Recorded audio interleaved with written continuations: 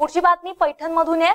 तालुक्यातील खंडाळा गावात भीषण पाणी टंचाई निर्माण झाली आहे. गावातील संतप्त महिलांनी आणि माजी आमदार संजय वाघचौरे यांच्या उपस्थितीत पंचायत समितीच्या कार्यालयात हंडा मोर्चा काढून आंदोलन करण्यात आलं.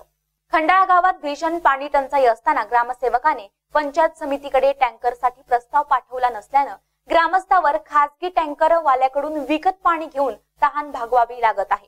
गावात तीव्र पाणी टंचाई असताना लोकप्रतिनिधी या गंभीर प्रश्नाकडे लक्ष देत नाही.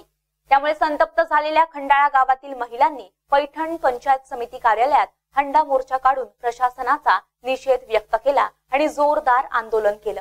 महिलांचे रौद्र रूप बघून पैठण पंचायत समितीचे गटविकास अधिकारी भास्कर कुलकर्णी यांनी तात्काळ खंडाळा गावात टँकर पाठवण्याचे आदेश दिल्यानंतर संतप्त महिलांनी गावाकडची वाट धरली. आम्हाला पाणी नाही प्यायला. लेकरं बाळ आमची उपाशी मारायला लागले पाण्यावर चूल पाणी पाणी पाणी करून मारायला लागले. पाणी पाणी काय करायचं मग आम्ही? शेतात राहतो हा? शेतातली कशी काय काळजी शेतात करायची? राहतो बराशील हा? जातो घरी यावं तर पाणी नाही प्यायला. काय प्यायचं राहिले. मग बरं इथं काय म्हणलं? पंचायत समिती आल्यानंतर. देतो म्हणले टँकर. म्हणले पण ते कशी म्हणले?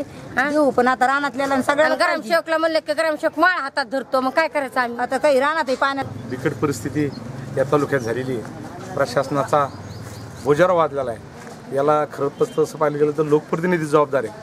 तसं पाहिलं तर यांनी जानेवारीमध्ये सुद्धा नियोजन करायला पाहिजे होतं.